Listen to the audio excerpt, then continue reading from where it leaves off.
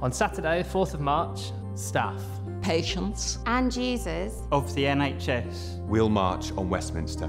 Years of cuts. Closures. Pay freezes. And privatisation have stretched the NHS and its staff to breaking point. The service cannot continue under these conditions. Properly funding the NHS is possible. So join us on the 4th of March when we will tell the government no cuts, no closures, no pay freezes, no privatisation.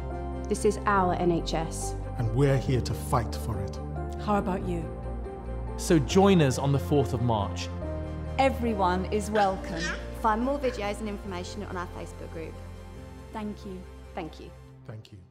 March to Parliament, Saturday, the 4th of March. Coaches are available from Stroud, Gloucester, and Cheltenham. Book Stroud coach tickets online at www.tinyurl.com forward slash Stroud NHS coach. For a coach from Cheltenham or Gloucester, call 07947 632 437. See you there.